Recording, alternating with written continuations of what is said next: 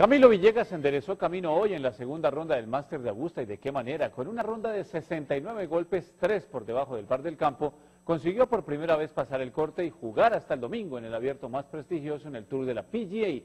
En su debut en 2007 fue penúltimo y el año pasado Camilo ocupó el puesto 69. Pablo César. Germán, el colombiano que ascendió 33 casillas y ahora está en el puesto 19, acumula 142 golpes y está siete de los líderes, Chad Campbell y Kenny Perry. Además, Villegas suma el mismo número de impactos que el número uno del mundo, el estadounidense Tiger Woods. Camilo Villegas cambió su juego y su suerte en el Masters de Augusta. Festeja Camilo un buen verde antes de llegar al hoyo 13.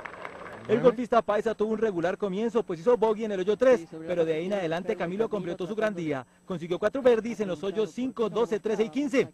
Mantuvo su rendimiento y terminó su segundo día en el torneo de golf más importante del mundo con 69 impactos, para un total de 142 que lo llevaron a la casilla 19. Puede ser. Así el colombiano pasó por primera vez el corte en el campo de Augusta National. Villegas superó a históricos como Ernie Els y Greg Norman que quedaron eliminados. Camilo además comparte posición con el número uno del mundo, Tiger Woods, quien también tiene 142 golpes después de dos días de competencia.